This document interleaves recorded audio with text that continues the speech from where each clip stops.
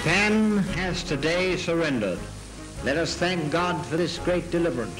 On the 15th of August 1945, Prime Minister Clement Attlee declared that Japan had surrendered and that the Second World War was finally over. Thousands poured onto the streets of Britain to celebrate the news. Today on a special Songs of Praise, we're here at the National Memorial Arboretum in Staffordshire to remember some of the really incredible stories of courage of those caught up in the conflict.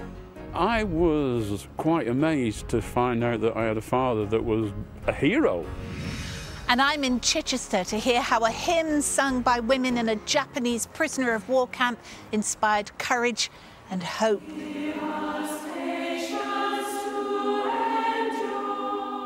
He heard this choir singing and he thought it was the angels and we examine how the wounds of war can be healed as one family of British and Japanese heritage embarks on a journey of discovery to learn about their loved ones. He said he would like to read the Bible. They're really shocked that um, they find out that there was a Japanese Christian person.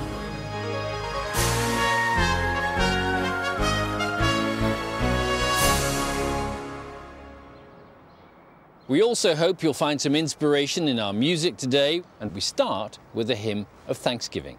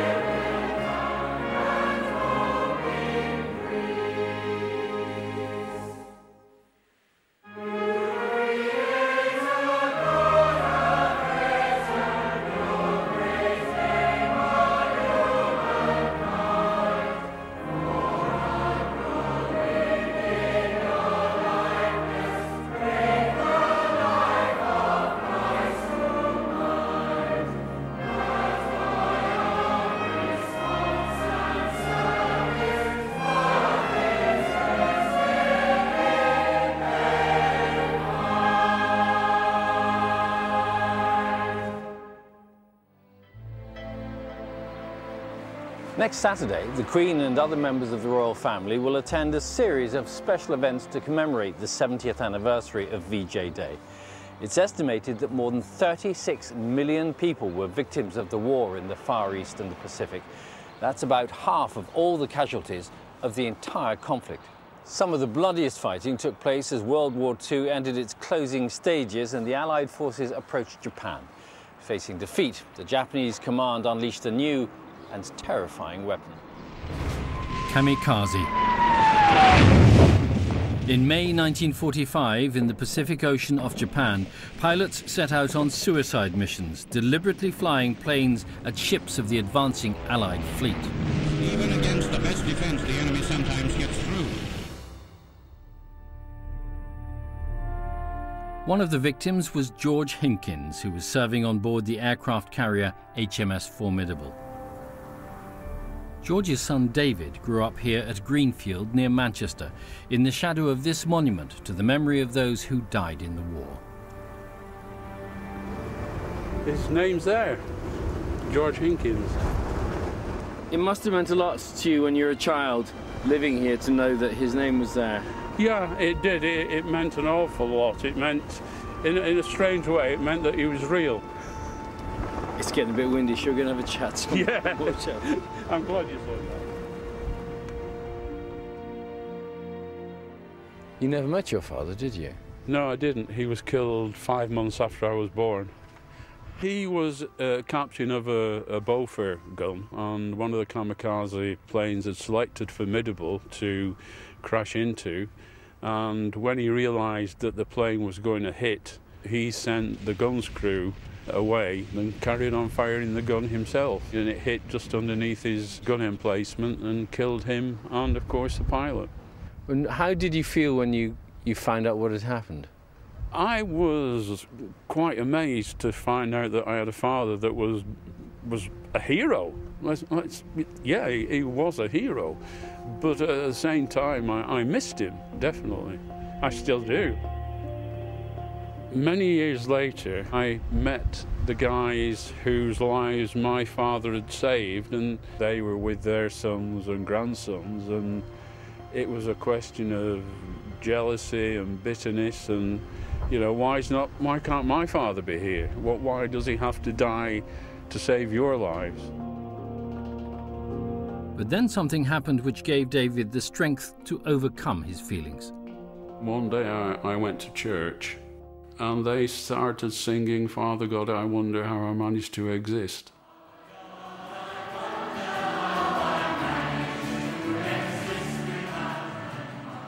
I realized that even though I'd not got a father on this earth, that I'd got one uh, in heaven that was looking after me. And things just turned around from there? They did indeed, yeah. It was just wondering whether the pilot had other family. Did, did he leave a son behind the, the same as myself? But let's face it, it was two brave men died that day no matter which side they were on, there were, there were two brave men to do what they did.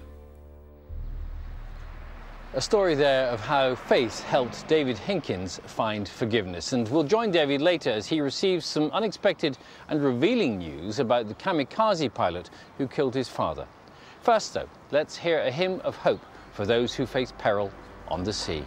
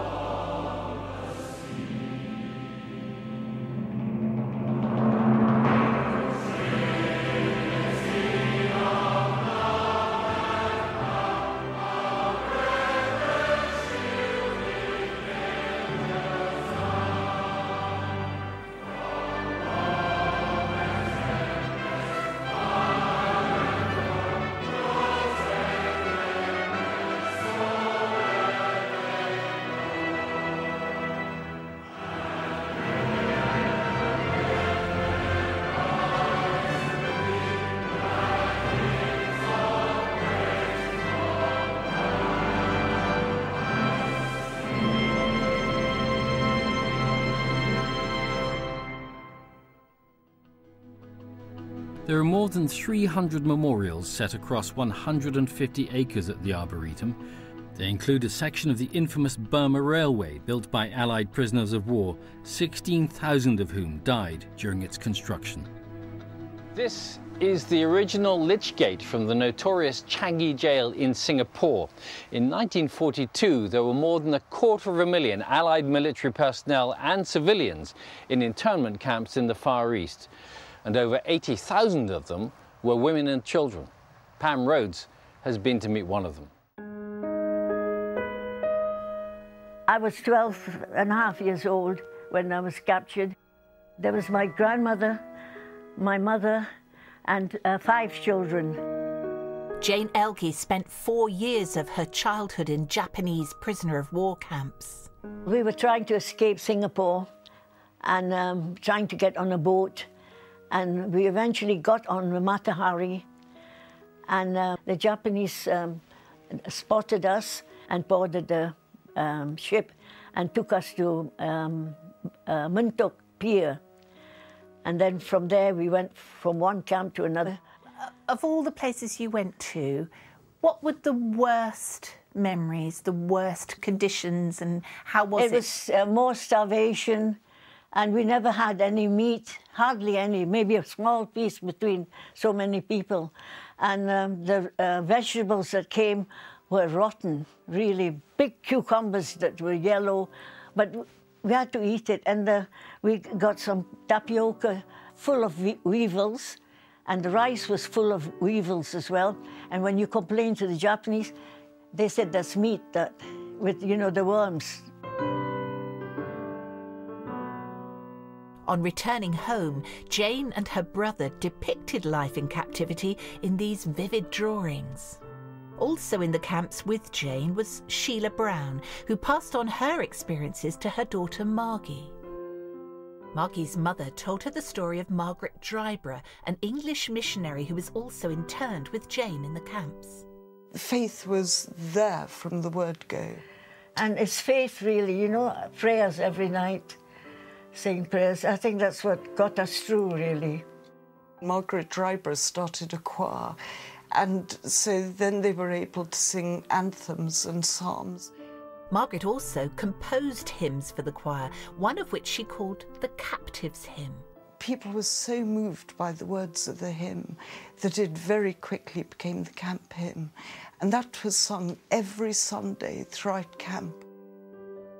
When the choir was rehearsing in the kitchen, my brother was very ill in the hospital, and suddenly he heard this choir singing.